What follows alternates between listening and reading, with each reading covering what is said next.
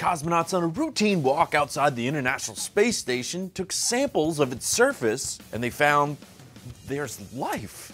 Hey everybody, I'm Patrick Jones and welcome to Buzz 60. Apparently, marine plankton were living in the vacuum of space on the outside of the International Space Station. And after careful testing, the cosmonauts are concluding such plankton could develop in the nothingness of space. The thought process is, because of all the crafts going back and forth to Earth, they're dumping all sorts of things onto the ISS, including life. Just think about what this marine life is handling in order to survive. Between the lack of air, temperature swings, and lack of a home planet, they're dealing with incredible odds. And then think what's able to survive on you the next time you go, eh, I'll just shower in the morning. Buzz 60, now you know, pass it on.